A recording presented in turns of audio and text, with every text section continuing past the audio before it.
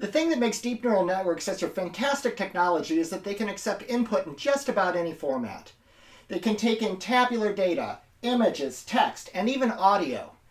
They then process this information, perform all sorts of mathematical magic, and then they output either a decision or a number rating, but they can also output much of the same type of data that they got in. They can output tabular data, images, text, or audio.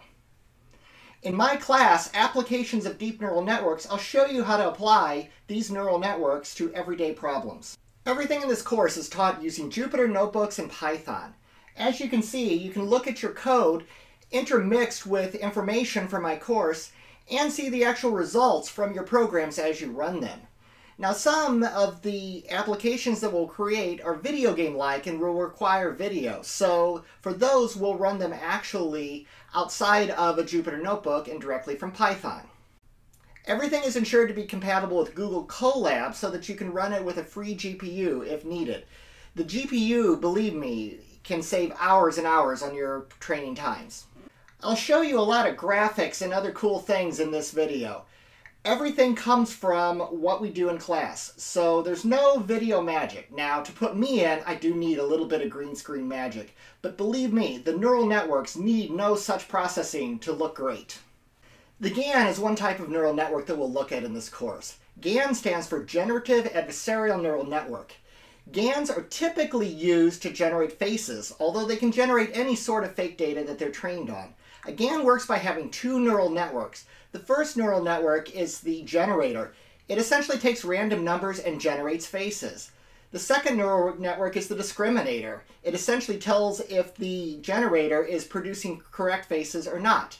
These two go back and forth and wage an adversarial war. Once they're done, you have a generator that is able to take really lots of different random numbers and keeps generating pretty realistic looking faces. Reinforcement learning, particularly when you apply it through deep learning, is a very powerful technique that allowed Google AlphaZero to beat Stockfish and essentially master all of chess in a short amount of time. In this course, we'll take a look at Atari video games using the AI gym and create reinforcement programs that learn how to play these games by looking at both the actual video image of what's going on in the game and in some cases the RAM state of the actual video game. Sit, sit. Who's a good boy, Hickory? Just like training your pet, when you use reinforcement learning, you provide rewards to the neural network for performing a good job or doing something that leads to a favorable outcome. Neural networks are also very good at generating subliminal messages for advertising. Okay, well, sorry, I had to try. Remember when I said neural networks can accept any type of input? Well, guess what? They can actually accept multiple types of input at the same time. This is how image captioning works. To create a neural network that is capable of writing a caption for a image, what you do is you create a neural network that accepts two different types of input, a photo and then a sequence. And that sequence is a set of ever-growing words. First you pass it in with just an empty array and a start token, and then it adds words describing what that picture is supposed to be. YOLO, you only look once. This is an amazing technology that you can see running all around me. It's classifying objects, multiple objects, and doing it very efficiently because it only needs to look once. We'll see how you can transfer this technology into your Python program and receive the actual coordinates and classifications of what it sees going on around you.